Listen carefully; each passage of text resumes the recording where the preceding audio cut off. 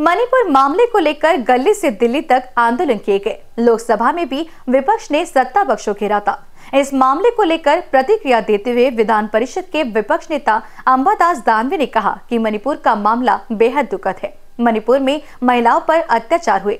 इस पर विरोधी पक्ष आवाज़ उठा रही है।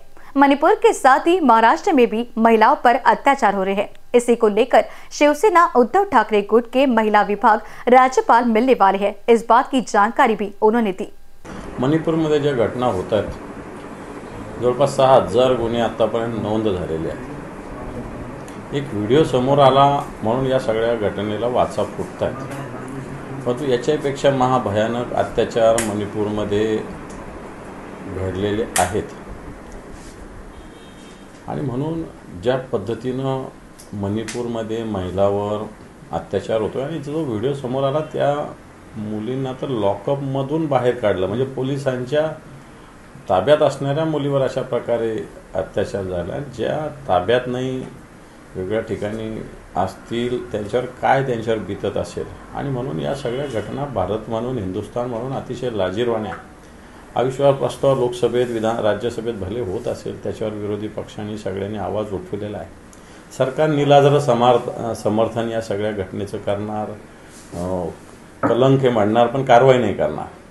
आणि या सगळ्या भूमिका असताना महाराष्ट्रामध्ये सुद्धा मोठ्या प्रमाणावर मुलींवर माता भगिनीवर अन्याय अत्याचाराचं तशाच पद्धतीनं एक कृत्य रोज दररोज होत आहेत. मग त्या सरस्वती वैद्याची घटना ताजी आहे. चर्चगेटमध्ये हॉस्टेलमध्ये मुलीला ज्या पद्धतीनं त्याच्यावर अत्याचार झाला हा सगळ्यांना माहिती आहे. दोन चार दिवसापूर्वी जळगाव जिल्ह्यातील पारोळ्याजवळ एका नऊ वर्षाच्या मुलीवर काय अत्याचार झाला मारतो तोही आपल्याला सगळ्यांना माहिती आहे. आणि म्हणून या महाराष्ट्रामध्ये सुद्धा माता भगिनीचं जीवन अतिशय असंरक्षित झालेलं आहे. कधी काय अन्याय अत्याचार होतील याच्यावर सरकारचं कायदा सुव्यवस्थेचं कोणतंही नियंत्रण राहिलेलं नाही. आणि म्हणून मणिपूरबरोबरच महाराष्ट्रातील मुली महिलावरील अत्याचाराच्या घटनेसंदर्भात आज युवती सेना जी शिवसेनेची अंगीकृत संघटना यामार्फत आमच्या संघटनेच्या सगळ्या मुली या संदर्भात राज्यपालांची भेट आज घेणार. अंबादास दानवे ने शिंदे गुट के विधायक प्रकाश सुर्वे के बेटे मामले पर भी अपनी प्रतिक्रिया दी है। उन्होंने कहा कि इनको सत्ता का घमंड है। इस मामले में सत्ता पक्ष दबाव डालकर इस मामले को दबाने की कोशिश करेंगे। प्रकाश सुर्वेच्या मुलावर जो गुन्हा दाखल झालेला आहे मला या संदर्भात कालच फोन आलेला मला एस एम एस सुद्धा आलेला आहे संबंधित ज्या व्यक्तीला किडनॅप केलं होतं ते. एका व्यावसायिक आहे म्हणतो म्युझिक कंपनीचा कोणीतरी व्यावसायिक आहे त्याला उचलून नेलं गेलं त्याच्या ऑफिसमधून. त्याचा सुद्धा व्हिडिओ माझ्या मोबाईलमध्ये आत्ता आहे. तुमच्याकडं मारहाणीचा पण माझ्याकडं आधी त्याला कशा पद्धतीनं ऑफिसमधून उचलून नेलं त्याचा व्हिडिओ माझ्याकडे आहे.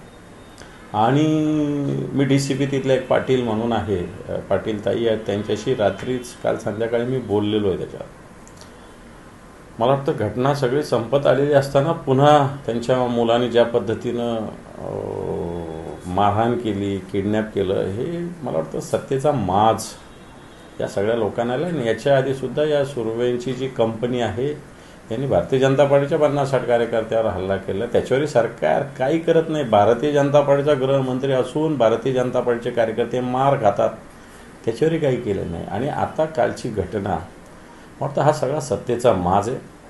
सरकार किंवा हे लोक पुन्हा त्या माणसावर दबाव आणणार तक्रार वापस घ्यायला सांगणार पुन्हा समर्थन करणार त्याची तक्रारच नव्हती. आणि म्हणून हे ढोंगबाजी या महाराष्ट्रात होते परंतु कायदा सुव्यवस्थेचे धिंडोळे या महाराष्ट्रात सत्ताधारी लोकच काढतात. एखाद्या गुन्हेगाराने असं केलं तर मी समजू शकतो.